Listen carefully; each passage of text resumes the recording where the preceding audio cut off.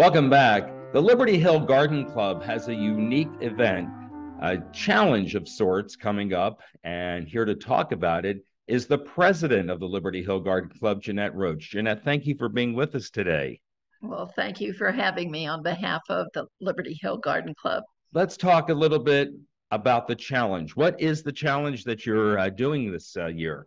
Well, the challenge is to commemorate uh, Arbor Day and Arbor Day is in November, and it, this year it happens to be the 150th anniversary of Arbor Day.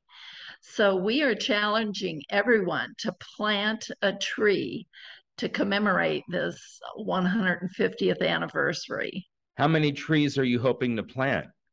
150. Will you take more? Absolutely, absolutely. That's our minimum we want, but it takes getting people involved and and just not counting on other people to plant a tree. now, on the flyer that I see behind you and which I have in an email, there are more benefits than just planting the tree itself when the tree starts to grow. What are some of them? Oh my goodness. Uh, for clean air, for shade, to uh, beautify our communities. There's so many trees having to be taken down with a lot of building going on, and we need to replace those trees so uh, our whole environment benefits. And I want to enter the challenge. So, what do I need to do?